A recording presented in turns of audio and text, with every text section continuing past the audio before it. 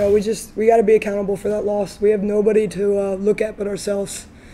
Uh, we lost that game in the second quarter, obviously. Um, you can't play a great team like Middle Tennessee, um, get outscored 24 to five, and expect to win.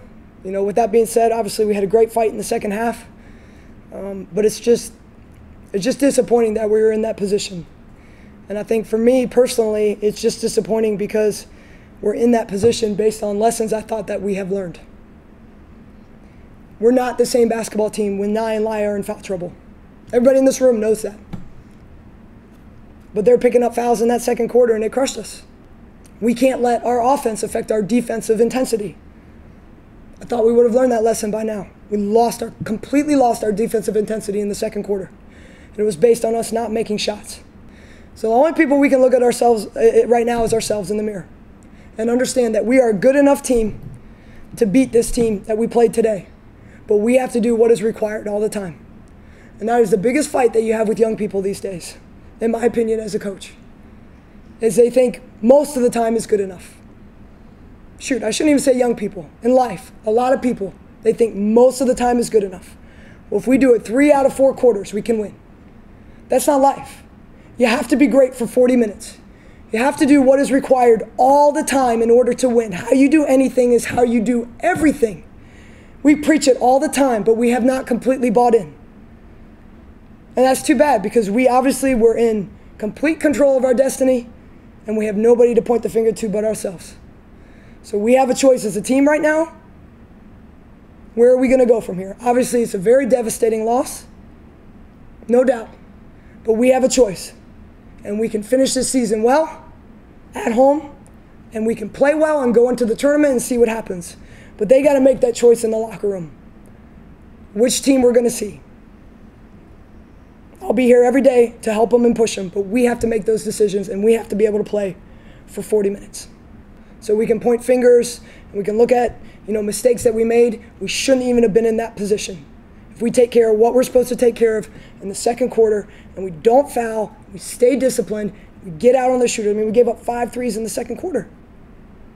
They make eight for the game. We didn't even get out and contest.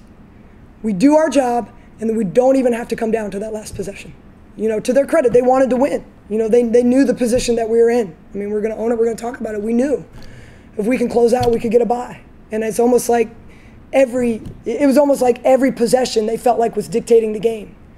Where obviously every possession is important, but we just were we were playing so frustrated. And we said in that third quarter, like we just gotta we just gotta play and enjoy playing because when this team plays with great joy and they celebrate each other, we play very well. And I thought right then we we flipped the switch. Um, well, I know personally speaking for myself, I know I'm coming off a bad game, and I feel like last game I let my team down, and I made a choice that I'll never do that again. So that was my mindset coming into the game. Yeah, we don't have any time to feel sorry for ourselves. Um, and again, I gave them that message in the locker room. We have to make a choice. Um, how are we going to finish? And we have an opportunity to play at home and to finish strong and finish well. And I think I know the character of our team, and that's what we'll do. So we get a day to regroup tomorrow and um, you know they've got to come together and be ready to come back and fight. You know, and follow Dara's lead. You know, I'll go right off what she said. You know, uh, I love coaching Dara because she always owns it, and she didn't play well at Western Kentucky. She said it in front of the team to start practice on Saturday. And, you know, she came out and we knew they weren't going to play her and that she was going to need to score and she was going to need to rebound, and that's exactly what she did. So we need more of our players to continue to follow Dara's lead. Yeah, I think I mean the most important thing, and I have to remind myself of this as a coach with Mo, is that we just got to keep keep giving her opportunities. Um, she's a freshman and she's going to make mistakes, uh, but she's also a gamer. And when the game's on the line, she has the ability to make great plays, as you saw in the fourth quarter of this game. So we wanted to just keep kind of going with her, and um, you know, with the hopes that we would see that that Mo that we've seen most of this month. And um, you know, I thought she did obviously a really good job uh, in closing this fourth quarter for us.